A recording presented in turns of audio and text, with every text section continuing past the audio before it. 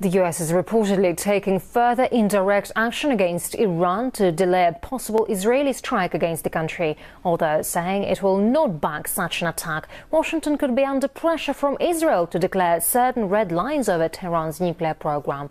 RT's Paula Slier now reports. For some time now, there have been indications that Tel Aviv might be considering a strike on Tehran and that such a strike could be imminent.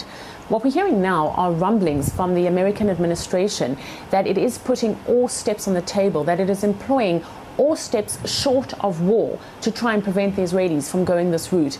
At the same time, it is also trying to force Tehran to take negotiations more seriously, and these are negotiations over its nuclear program that until now have stalled. We are hearing from high ranking, unnamed American officials that the United States and 25 other countries will be participating in the largest ever mine sweeping exercise in the Gulf, and that this is an attempt to prevent any kind of efforts by Iran to block oil exports through the Strait of Hormuz.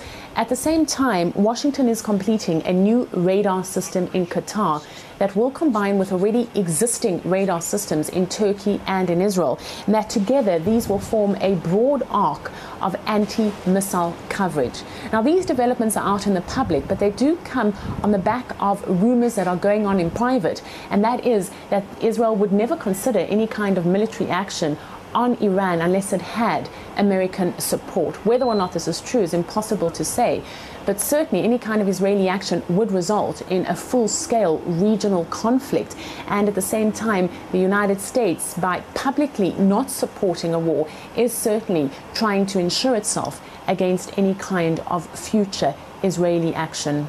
Paula Slier, RT, Tel Aviv. And Stephen Zunes, professor of politics and international studies at the University of San Francisco, thinks war with Iran will devastate both sides. I think there's an awareness uh, in the Pentagon, in the White House, and elsewhere that uh, war with Iran would be a disaster. I mean, even putting aside the moral concerns, the legal concerns about uh, about about such a conflict, uh, the war games and other scenarios they have been looking at all come out to the same conclusion. The costs badly outweigh the benefits.